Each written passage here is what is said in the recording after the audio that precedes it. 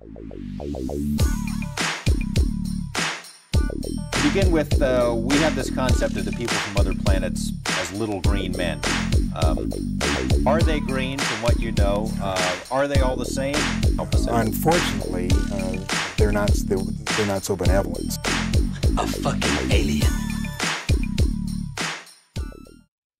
What's good, what's good. Buenos días, 51 aquí con Jimmy diciendo la verdad el boxeo. Un día más en la jungla. Danos un like y suscríbete al mejor canal de boxeo en español y también en inglés para todos que sois fans de boxeo de verdad. Alright, eh, y eso es para goldenaboxing.com. Alright, so vamos a este.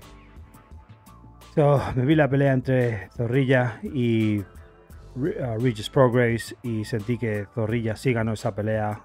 Tendría el árbitro que haberle dado eh, el knockdown. Um, Zorrilla, porque está claro que Regis Progress no se cayó. Eh, Zorrilla sí eh, le, puso abajo en la lona.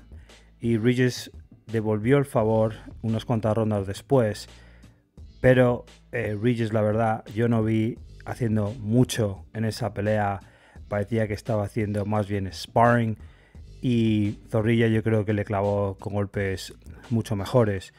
Eh, uno de los problemas con los arbitrajes hoy en día, especialmente con muchos de los jueces, es que empiezan a dar resultados como 117-111 y es like, ¿qué pelea has visto? 117-111. I mean, that's crazy para mí. Eso me recordó mucho a la pelea que tuvo Basil Lomachenko contra eh, Germain Ortiz, donde uno de los jueces le dio 117-111 a Basil Lomachenko. Y hemos visto este tipo de resultados con otras peleas también. So, en vez de estos jueces ocultar sus intenciones, porque si lo hiciese un poco más cercano, el resultado, pues, y no podías decir, no estoy de acuerdo con esta pelea, pero ok, ganó por un punto, pero 117-111, a mí no tengo mucho más que decir.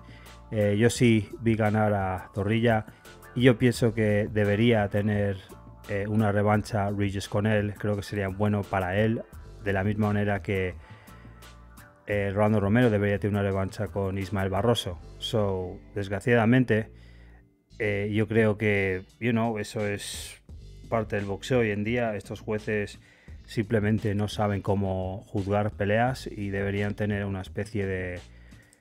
I mean, yo, no entiendo eh, cómo funcionan estos jueces. No todos son malos, pero hay muchos que honestamente creo que no saben cómo juzgar una pelea. Pero en fin, eso es mí. Eso es para mí. Alright, so la cuestión ahora es si Regis eh, se merece o puede ganar una pelea a Devin Haney.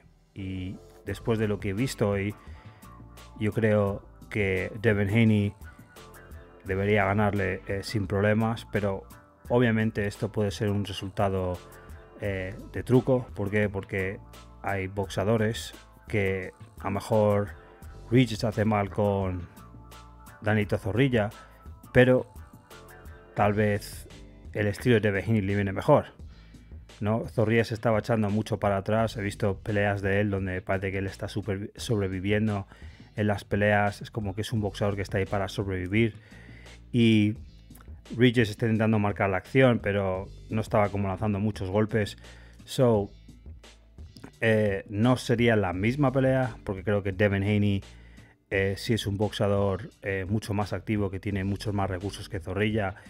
Y no estoy tan seguro que Regis, eh, con el boxeo que he visto hoy, podría hacerle o ganar a Devin Haney. Y si yo fuese Teófimo López, ahora mismo yo me lanzaría ahora mismo por Regis Progress. Eh, ahora tiene una oportunidad de oro para unificar. Y voy a hacerlo.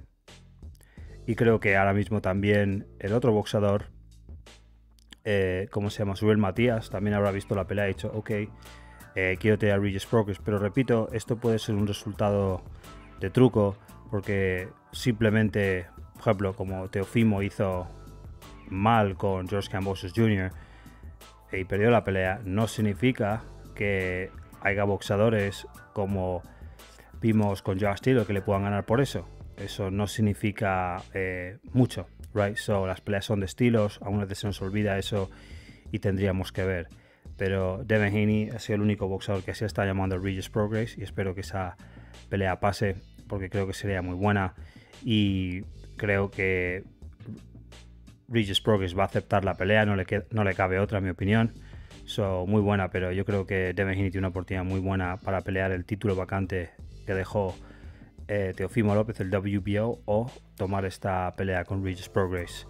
Y creo que eh, puede hacer un buen trabajo. So, vamos a ver qué pasa, pero en fin, así es como está el boxeo. ¿Qué vamos a hacer?